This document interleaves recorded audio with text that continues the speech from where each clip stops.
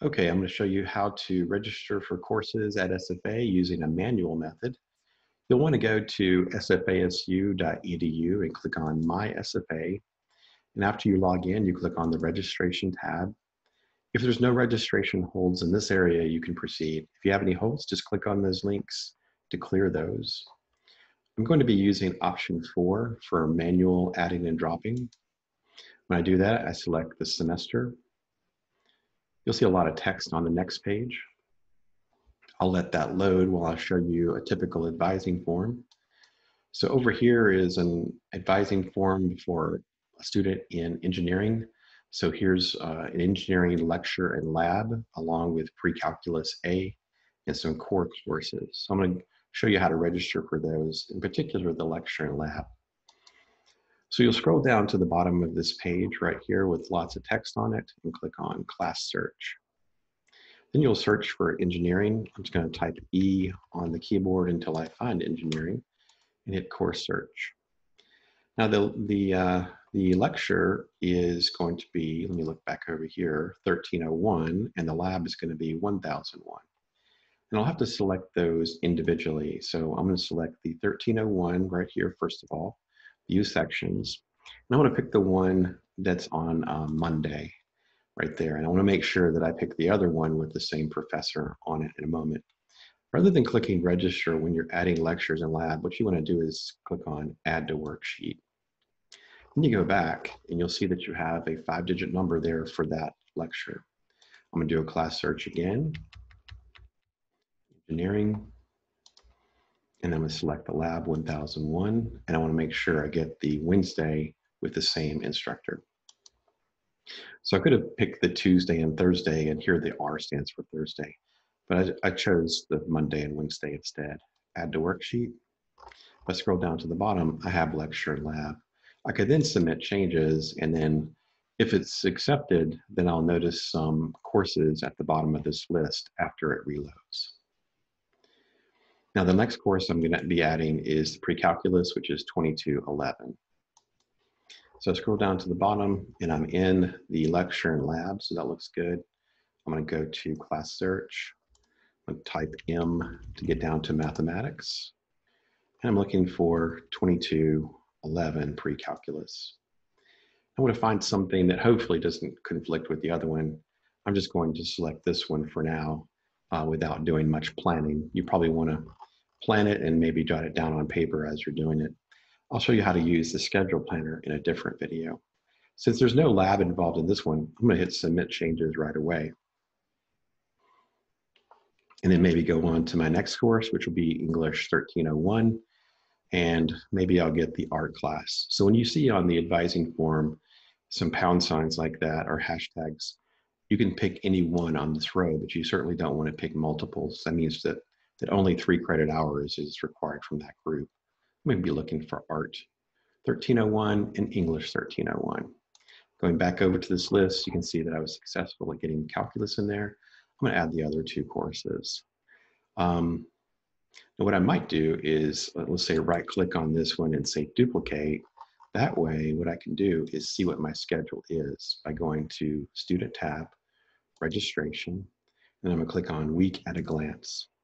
This kind of shows me what the schedule will look like once I get into the fall semester. I'm fast forwarding into there, into that uh, fall semester. You see I have a blank here at uh, 10, 11, and 12, and some afternoon sections as well. So when I do my search this time, I'm gonna keep that in mind as I search for English. 1301. And you know what? I don't think I have any Tuesday, Thursday classes, so maybe I can do that. Now C has uh, indicates that the course is filled up, so it's currently closed, but I'm gonna grab this, uh, let's say eight o'clock uh, Monday, Wednesday, I'm sorry, Tuesday, Thursday class, or I can do this eight o'clock one right here, so forth. I'm just gonna pick this one. And I can, again, uh, go to, um, you know, add to worksheet here. One of the things you want to note is that sometimes you'll get blocked from registration. Uh, for example, like this one right here is in the honors program. So you have to be an honor student in order to take that particular section. I'm just gonna say add to worksheet. You'll see the number down here. I'm not officially in the class yet, We'll do a class search, go down to art, 1301. Let's pick that one for Tuesday, Thursday if we can as well. Looks like there's some online sections down here. I could do that if I want to. I don't see any Tuesday, Thursdays, so I'll try instead maybe Monday, Wednesday, Friday at 8. So not an ideal schedule, as we'll see in a moment when I add to worksheet, scroll down, submit changes. And it'll tell me how many credit hours I have after it reloads. It'll be in this area. So typically for financial aid purposes, you want to make sure that you're at least in 12 hours that will apply towards your current degree in order to receive financial aid for those courses. Let's see if I was successful. I got 11 hours. So what I might do is either grab another course from my advice and form, or if I'm a freshman, for example, I might pick SFA 101, which is the SFA S 1101. So I could grab the history and go over 12, or I can get exactly 12 here generally speaking, uh, it's recommended to go for 15 hours, but uh, sometimes you can simply take just 12 hours instead. Let me look at um, this one. It says maybe search for section 25 and 27 for STEM majors. I don't know if those sections are going to be open, so I'm going to go look for those. Class search. And those are going to be under SFA. Let's see, where were those at? There it is right there and it's the first one. And I was going to be looking for section 25. Now the section numbers are located in this column under SEC. There's section 25. It is open and it's actually a good time with Dr. Keith Hubbard. So I'm going to hit um, register and to skip the add to worksheet section. It goes back to the page with a lot of text. And again, this process is how you manually register for classes and it actually says I need special permit to do this one. So the, the count that I'm using is probably um, not a STEM major. So um, that's probably why I wasn't able to get into that course. If I was, then this would be at 12 credit hours and I would be good to go. I can go back over to my week at a glance, hit refresh, and then I would see, for example, that SFA 101 right here. So if you get blocked from a course like that, the thing to do is just to get back in there and try again. So I'll try another one just uh, see if there's other options that I can consider. You know, what, how about that 27? Is that what it said on the advising form? Yeah, section 27. So let's see if that one's open. That one might be for computer science majors. Looks like it's actually during my engineering time. So let's just go look for a Tuesday, Thursday TR in the afternoon sometime, maybe 2.30 like that. We'll grab this one section 16 with Megan Kelly. Register. Like that.